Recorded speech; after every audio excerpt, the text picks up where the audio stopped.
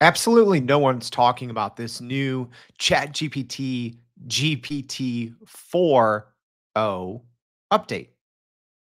It's actually, I think now, an answers engine, right? There's all these rumors about, hey, ChatGPT, OpenAI, they're going to come out with a search engine. Uh, they didn't, but they actually had some huge improvements with the way that it browses the internet, gathers information, and I think it's uh, in some instances as good as something like Perplexity. No one's talking about it. All right, let's go ahead and dive in and take a look. If you're new here, what's going on? My name is Jordan Wilson. I'm the host of the thing on the right side there, uh, Everyday AI. We're a daily live stream podcast and free daily newsletter helping everyday people like you and me learn and leverage generative AI. So uh, please like this video, subscribe, all that good stuff. Let me know in the comments if this is helpful. But what we're doing here, we're going to try to do this live.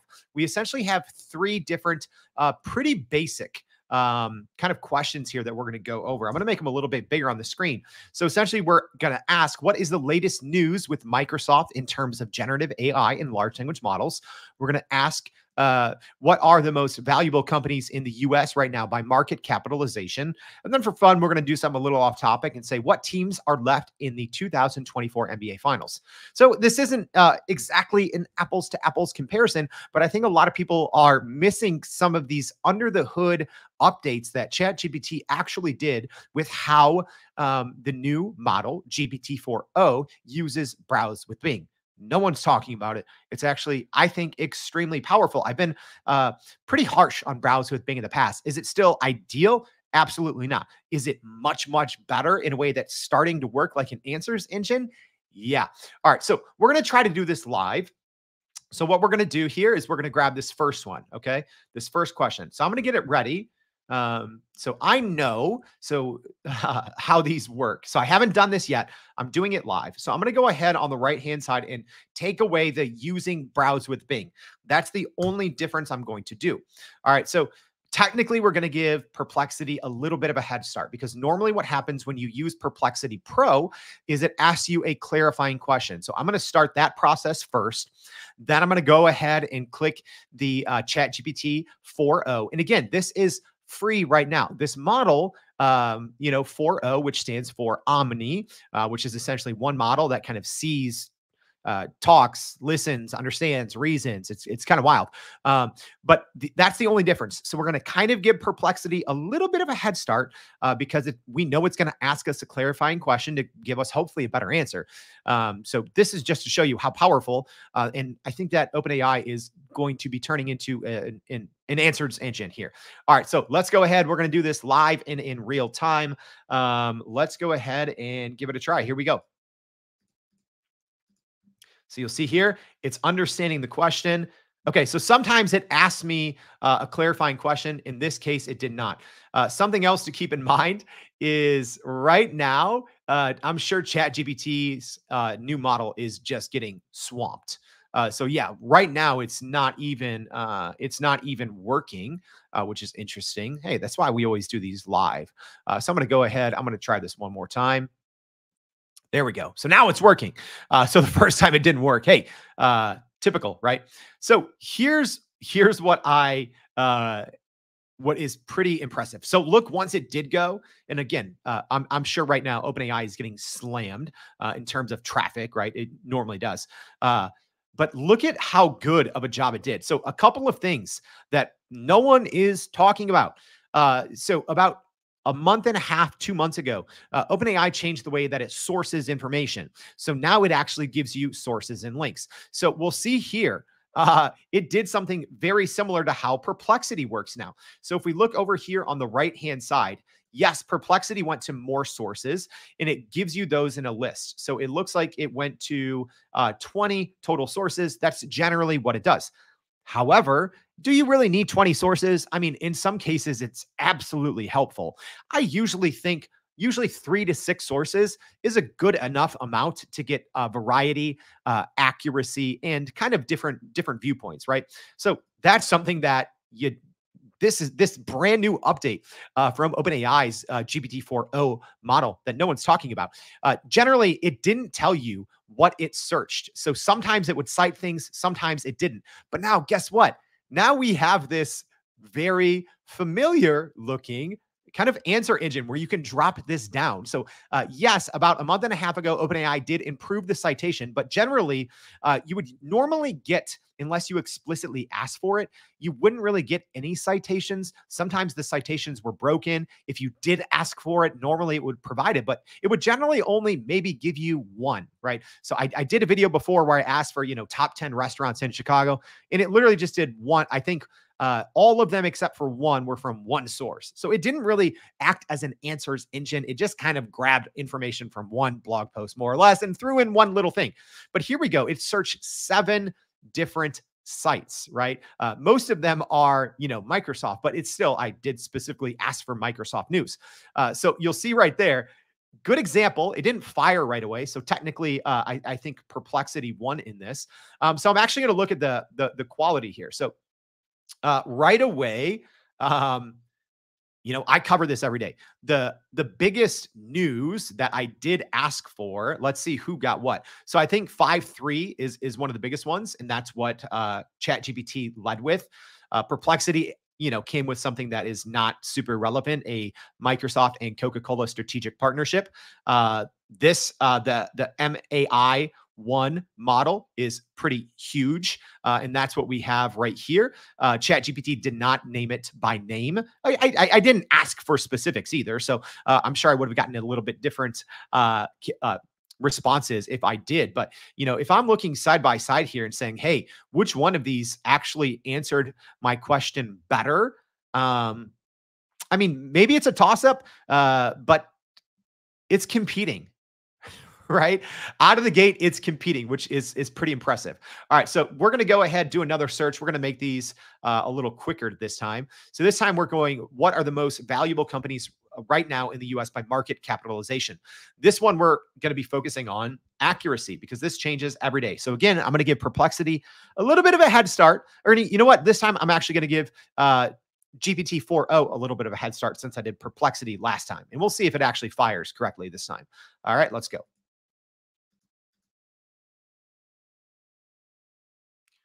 All right, so let's see who's actually faster here.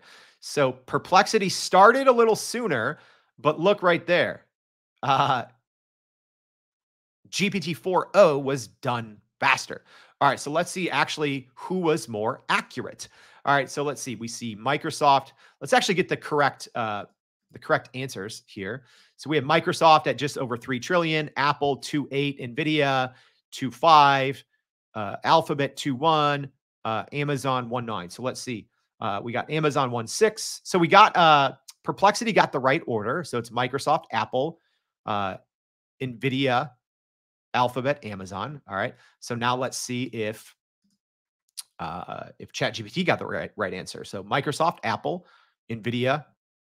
Oh, let's see. Microsoft, Apple, Nvidia, Alphabet, Amazon. All right. So got it. Got it right. So let's see. Uh, 3.0, 2.8, 2.2. So we got NVIDIA's uh, fairly wrong here. Pretty interesting. Not even close here from from uh, ChatGPT at 1.2 trillion.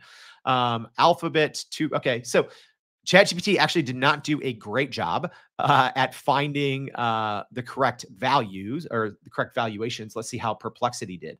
Uh, Perplexity. Let's go ahead and move these. Uh, so it looks like Perplexity did a much better job in terms of accuracy. So 2.8. So yeah, NVIDIA much closer here with 2.1, uh, 1.7. Yeah. So Alphabet was a little off. Amazon a little off. Uh, so neither were entirely accurate. So um, I'm going to go ahead. I'm going to rerun this. Right. I can do these. You know, it's I can I can make the rules uh, because I'm I'm curious. I'm going to say uh, please uh, Oh, and I did make a mistake. I said using browse with Bing here, so it wasn't even accurate. So I'm going to change this now. I'm going to say uh, using browse with Bing, please find the most up to date information as possible. I'm going to say specifically from May 14th, 2024, or as close as possible to that date. All right. So now I'm going to do the exact same thing uh, and I'm going to take away the browse with Bing because that wasn't fair. I might have tripped up uh, perplexity here slightly. All right, so let's try this again with a little more uh, specifics in the prompting uh, to see how this goes. All right, ready? And here we go. give ChatGPT the head start since Perplexity had the first one. So I'm just curious if this is going to change the outcome. So again, uh, ChatGPT much faster this time, and it's done. Uh, Perplexity still going, a little slower. Very all right. Perplex perplexity very slow there. So right now it's giving some information as of May, you know, May 1st. Uh, so let's go ahead and check ChatGPT um, as as we allow Perplexity to finish. Perplexity pretty slow here. All right, so Microsoft, Apple, Nvidia, Alphabet, Amazon, and it looks like our totals are pretty good now. Pretty good. So, uh, you know, Nvidia now 2.1. So with a little more direct prompting, uh, ChatGPT did a much better job, and also again searching multiple sites and it just so happens one of these sites um, is the one that I actually used, right? So for some of these things, it did, I think it was seven sites last time. This time it did three sites. Uh, so let's see if uh, Perplexity got it right this time. Uh, did a pretty good job. So it said Microsoft, Apple, NVIDIA, Alphabet, Amazon, good. Still finishing. So a little slower here. Uh, and we have the Pro toggle on. Let's see the amounts 2.8, uh, 2.6, 2.1, so on the second run, when I gave more specific information, uh, Chat GPT and GPT 4o were actually faster and a little more accurate. So pretty interesting. All right, let's do our last test here. And each time we're starting with a fresh, uh, kind of fresh, fresh one here. So now we're asking about the NBA finals. We're not going to give specifics. I'm going to take away the using browse with Bing. Uh, all right, so we're giving Perplexity the head start here. Let's see how it performs.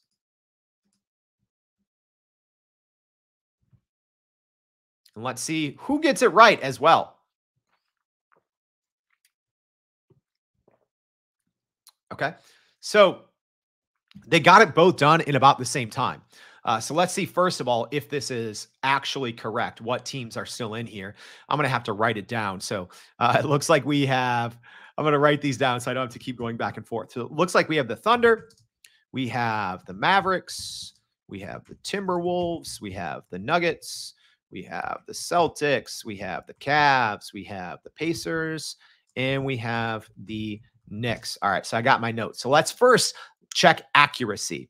All right, so we have Boston, Cleveland, New York, Indiana, Oklahoma, Dallas, Denver. Perfect. All right, so they got that. Uh, Boston, Cleveland, New York, Indiana, Oklahoma, Dallas, Denver. Okay, so from an accuracy perspective, all accurate. So here's here's the interesting part. So uh, ChatGPT actually went one step further. And you'll see in this case, it didn't tell us how many uh, sources, but it did list at least two separate sources uh, down here. So we didn't get the normal drop down. Uh, however, uh, ChatGPT gave us actually much more information. So let's see how accurate that information uh, even is, right? So let's bring this up a little bit. So it says Cat Celtics 3 1, Celtics 3 1. Let's see, 2 to 2 tie, 2 to 2 tie. It's pretty pretty impressive here. Uh, Oklahoma City, let's see, two to two tie, and Denver two to two tie. So you know when we talk about uh, the future of using large language models, right? Um, I think how we work, how we research, everything is going to change. And this is something I don't think anyone's really talking about uh, because ChatGPT eh, or OpenAI didn't really talk about this at their announcement. But I use uh, Browse with Bing dozens of times a day uh, inside of ChatGPT. And I instantly noticed yesterday, not only was it much faster, but it was actually listing sources, you, you, know, in a way that a perplexity would. So, you know, generally, you know, it didn't used to do that um, unless you specifically asked. Um, and you never really got that drop down. So we are starting to see already some under the hood improvements. And I think if I'm being honest, um, I think this might cut into, um, you, you, know, that market share that Perplexity uh, has started to carve out uh, into, you know, Google with their Google's SGE. Uh, so something under the hood. I know this was a little bit longer of an AI in five, which turned into an AI in 15, but I think it's extremely important, something that's happening under the hood at ChatGPT. I hope this was helpful. If so, let me know. Leave a comment. What do you want to see next? Also, please go to youreverydayai.com, sign up for that free daily newsletter, and we'll see you back for another AI in 15, I guess. Thanks, y'all.